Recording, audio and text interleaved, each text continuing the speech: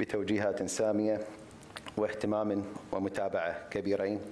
من لدن سيدي حضرة صاحب السمو أمير البلاد الشيخ صباح الأحمد الجابر صباح حفظه الله ورعاه لموضوع رعاية المواطنين الكويتيين المتواجدين في الخارج وإعادتهم إلى أرض الوطن.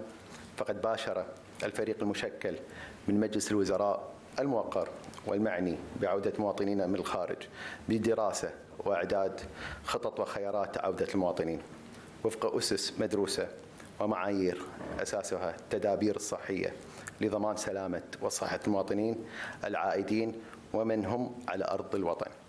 إضافة إلى الحفاظ على قدرات وإمكانيات المنظومة الصحية وعدم الإخلال بها باعتبار أن مسألة جدولة عودة المواطنين ترجع بالدرجة الأولى إلى قدرة المؤسسات الصحية على استيعاب أعداد المواطنين دون مساس أو تأثير على قدرة المنظومة الصحية في البلاد حيث سيتم البدء غدا الأربعاء بتنفيذ الخطة الآنية والممتدة من الأربعاء 25 مارس إلى الأحد 29 مارس. هذه هي المرحلة الأولى وسوف تتبعها خطط وخيارات أخرى متوسطة وبعيدة الأمد لا سمح الله.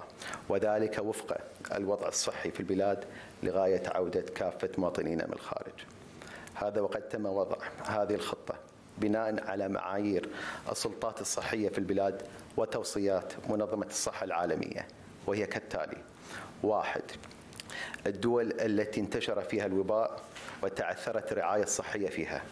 اثنين الفئات التي تنطبق عليها المعايير التالية.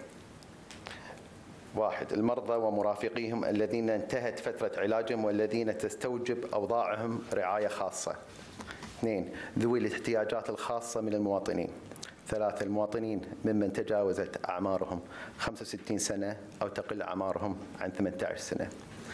ثلاثة المواطنين الذين تنطبق عليهم المعايير والمتواجدين في دول مجلس التعاون لدول الخليج العربية والذي والتي استضافتهم مشكورة من مختلف دول العالم وفق التنسيق القائم في مجلس وزراء الصحة لدول مجلس التعاون.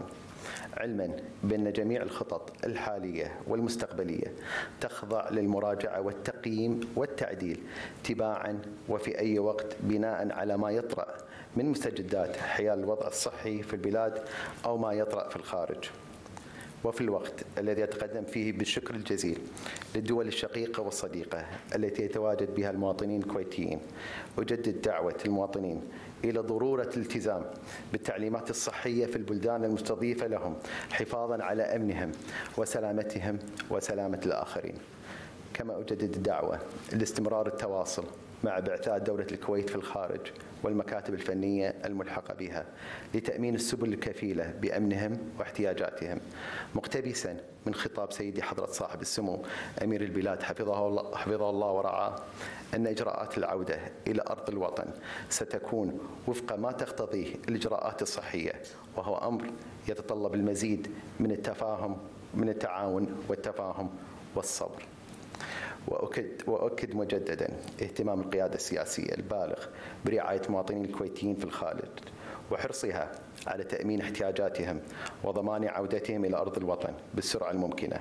داعين الجميع إلى تجسيد روح التعاون وتقدير الظروف الاستثنائية التي يمر بها العالم ودولتنا الحبيبة وتفهم أبعاد الإجراءات التي تتخذ في هذا المجال والتزام بالمعايير التي وضعت حتى ننجح جميعا من تجاوز تلك الظروف بما يصون أمننا الصحي وسلامة مجتمعنا. سائلين الله سبحانه وتعالى أن يحفظ وطننا الغالي وشعبنا العزيز من كل مكروه والسلام عليكم ورحمة الله وبركاته مثل ما ذكرت يعني قلت إن هذه هي المرحلة الأولى والمرحلة الأولى تأتي بثلاث فئات الدول اللي أو يعني بتكلم على الدول اللي راح يعني يكون منها مسألة الإجلاء وعودة المواطنين. واحدة مثل ما ذكرت في البيان الدول الموبوءه واللي تكون فيها الرعاية الصحية متعثرة. فراح يكون إيطاليا، لبنان، إيران، إسبانيا. بعدين اثنين الدول أكثر تمركز للمواطنين ومستوفين شروط السلطات الصحية. القاهرة بريطانيا أمريكا فرنسا ثلاثة دول مجلس التعاون وفق التنسيق القائم بين مجلس وزراء الصحة لدول مجلس التعاون راح يكون في هذه المرحلة البحرين والإمارات. ونجاحتها إلى سنة